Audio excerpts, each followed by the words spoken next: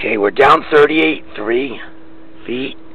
And I can't get through this. There's a big clog in here. Camera will not move through it. Pulling out.